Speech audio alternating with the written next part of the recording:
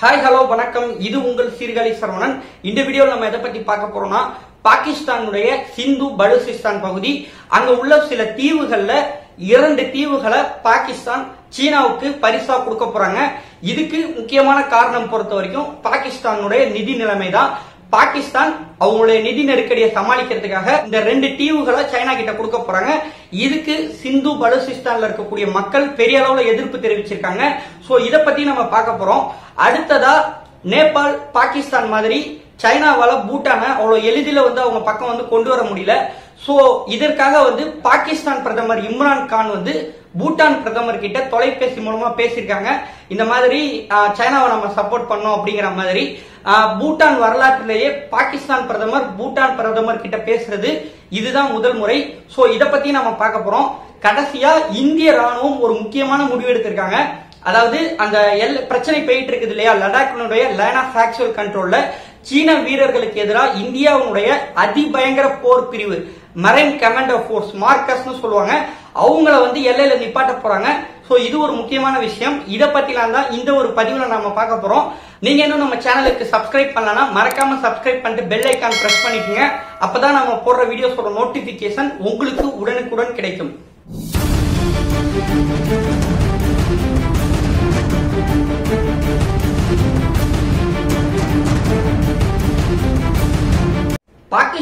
பொறுத்த வரைக்கும் அவங்களுடைய சிந்து பலோசிஸ்தான் இந்த பகுதிகளில் வந்து சின்ன சின்ன தீவுகள் வந்து நிறைய இருக்கு அந்த கடல் பகுதியில.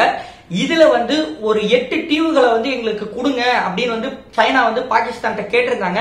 இதுக்கு முக்கியமான காரணம் பொறுத்த வரைக்கும் ஆல்ரெடி வந்து குவாடர் அப்படிங்கிற ஒரு போர்ட்டை வந்து சைனா வந்து பாகிஸ்தான்ல வந்து டெவலப் பண்ணிக்கிட்டு இருக்காங்க.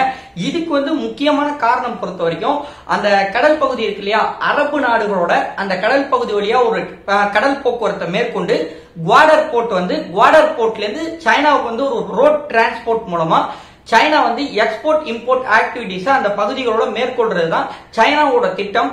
இதுக்கு வந்து வலு சேர்க்கும் வகையில இன்னும் சில நடவடிக்கைகளை மேற்கொள்றதுக்கு இந்த எட்டு தீவுகள் வந்து அவங்களுக்கு பயனளிக்கும் அப்படிங்கிற மாதிரி பாகிஸ்தான் கேட்டிருந்தாங்க.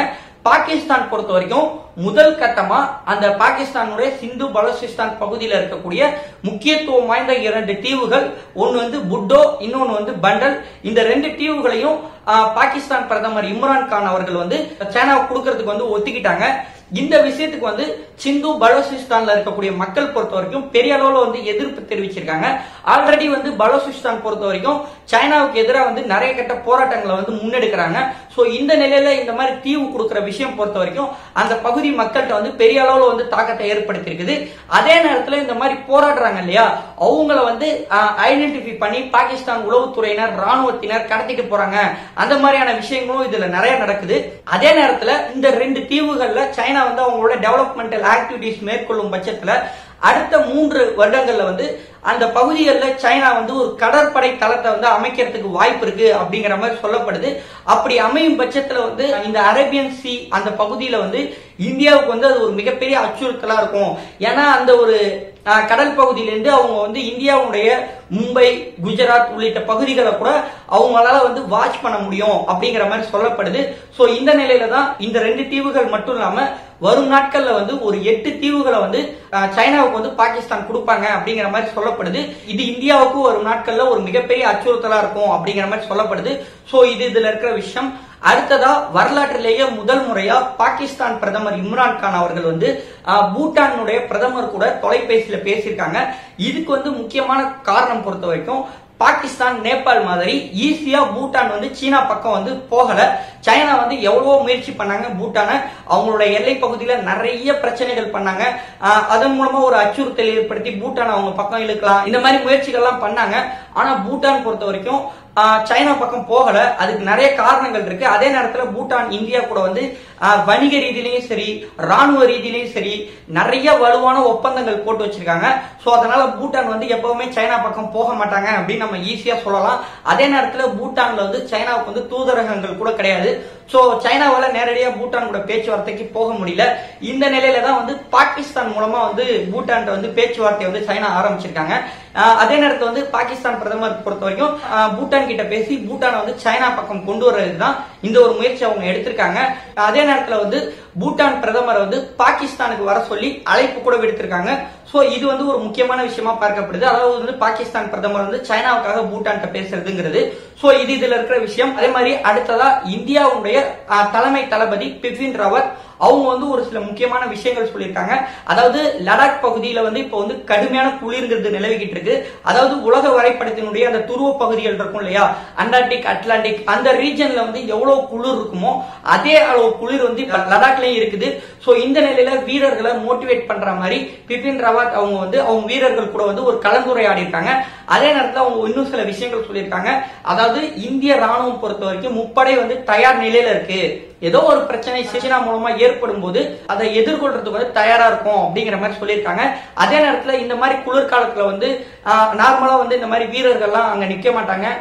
டேங்க்ஸ் பீரங்கிகள் ராணுவ தளவாடங்கள் இதெல்லாம் எதுவுமே அங்க இருக்காது. ஆனா குளிர்காலத்திலயும் இருக்கிறப்ப இது ஒரு அசாதாரணமான சூழ்நிலை. இதை எதிர்கொள்றதுக்கு ராணுவம் தயாரா இருக்கு அப்படிங்கிற மாதிரி தான் அவங்க சொல்லியிருந்தாங்க. அதோட சேர்த்து ஒரு முக்கியமான விஷயத்தையும் சொல்லியிருந்தாங்க. அது என்னன்னா இந்தியாவுடைய மரைன் கமாண்ட் ஆஃப் ஃபோர்ஸ் மார்க்கஸ்னு சொல்லுவாங்க. அந்த வீரர்களை வந்து லடாக்கு அனுப்ப போறாங்க அப்படின்னு சொல்லியிருக்காங்க. அதாவது மார்க்கஸ்ங்கிறது வந்து ஆயிரத்தி தொள்ளாயிரத்தி எண்பத்தி ஏழுல ஆரம்பிச்ச ஒரு படைப்பிரிவு. இந்த மார்க்கஸ்னுடைய முக்கியமான நோக்கம் பொறுத்த வரைக்கும் இவங்க வந்து தரை வான் நீர் இந்த மூன்று இடங்கள்லயுமே வந்து சிறப்பா செயல்படக்கூடியவங்க. அதே நேரத்துல இவங்களை வந்து அதிபயங்கர போர் பிரிவு அப்படின்னு சொல்லுவாங்க. அதுக்கு முக்கியமான காரணம் என்னன்னா ஒரு அசாதாரணமான ஒரு சூழ்நிலை நிலவரப்ப ஒரு நேரடி நடவடிக்கையில ஈடுபடும் போது அதே மாதிரி தீவிரவாதிகளுக்கு எதிரான தாக்குதல்கள் கடல் வழி வான்வழி தரைவழி இந்த மாதிரி வந்து எல்லா இடத்துலயுமே வந்து ரொம்ப பர்ஃபெக்டா ninety nine point ninety nine percentage வந்து பர்ஃபெக்டா செயல்படக்கூடியவர்கள் தான் இந்த ஒரு மார்க்கஸ் படைப்பிரிவினர். இவங்க வந்து இந்தியாவுடைய கடற்படைக்கு கீழே வந்து பணியாற்றக்கூடியவர்கள் தான். அதே மாதிரி வந்து இந்த மார்க்கஸ் பொறுத்த வரைக்கும் இந்திய ராணுவத்திலேயே கடுமையான பயிற்சிகளை மேற்கொண்டவங்க அப்படின்னு சொல்றாங்க. அதாவது இந்த மார்க்கஸ் ட்ரைனிங்க்கு போறாங்க இல்லையா? நூறு பேர் ட்ரைனிங் போனா அதுல வந்து தொண்ணூறு பேர் வந்து ரிஜெக்ட் ஆயிடுவாங்க. ஜஸ்ட் பத்து பேர் மட்டும் தான் செலக்ட் ஆக முடியும். அந்த அளவுக்கு வந்து கடுமையான உடற்பயிற்சிகள் அதுல இருக்கும் அப்படிங்கிற மாதிரி சொல்லப்படுது. மார்க்கஸ் பொறுத்த வரைக்கும் அவங்க வந்து எல்லா விதமான ட்ரைனிங்கையும் மேற்கொண்டவங்க.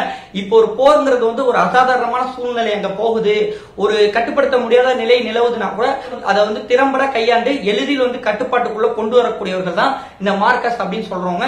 இவங்களை வந்து அந்த லடாக் பகுதியில வந்து இந்தியா வந்து பெரிய அளவுல டிப்ளாய் பண்ண போறாங்களாமா? அதுக்கு வந்து முக்கியமான காரணம் பொறுத்த வரைக்கும் சைனா வந்து எப்பவுமே நம்ப முடியாது. ஒரு பக்கம் பேச்சுவார்த்தை நடந்துகிட்டு இருக்கும்போது கூட மறுபக்கத்துல வந்து லடாக் பகுதியில வந்து அத்துமீறதுக்கு அதிக வாய்ப்பு இருக்கு அப்படிங்கிற மாதிரி சொல்லப்படுது. சோ இந்த மாதிரியான ஒரு அத்துமீறல்களை முறியடிக்கிறதுக்கு தான் மார்க்கஸ் படைப்பிரிவினரை வந்து இந்தியா அங்க நிப்பாட்டுறதுக்கு முடிவெடுத்திருக்காங்க. சோ இது வந்து அந்த எல்லை பகுதியில வந்து ஒரு முக்கியமான விஷயமா பார்க்கப்படுது. சோ இதான் இந்த வீடியோ நான் சொல்ல வந்த விஷயம். இதை பத்திலாம் நீங்க என்ன நினைக்கிறீங்க அப்படிங்கிற உங்களுடைய கருத்துக்களை அவசியம் பதிவு பண்ணுங்க நான் கேட்டுக்கிறேன். தேங்க்யூ ஃபார் வாட்சிங்